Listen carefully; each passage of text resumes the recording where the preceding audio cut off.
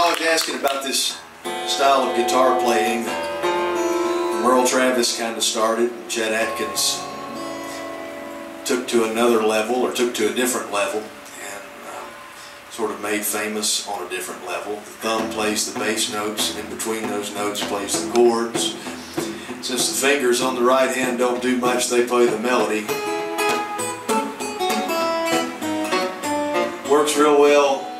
Nights unlike tonight when you can't afford to have a great band like this one. Gets the band down to a manageable size anyway. But here's uh, Thom Bresh. He's one of the greatest playing this style. Uh, this is a, yeah, it, this is an instrumental that he wrote after a trip to France several years ago. I played it here last year, and I don't know if I played it since, except to warm up a little bit. But it's the Seems like the right thing to do. Hope you enjoy it. A little trip to Bordeaux, France. You don't even have to leave the comfort of your sleepy chair.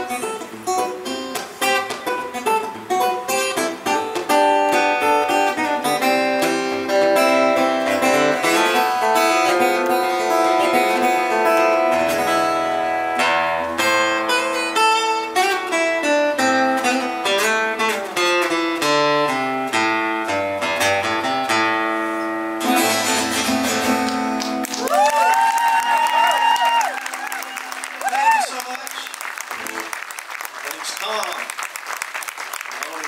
Tune.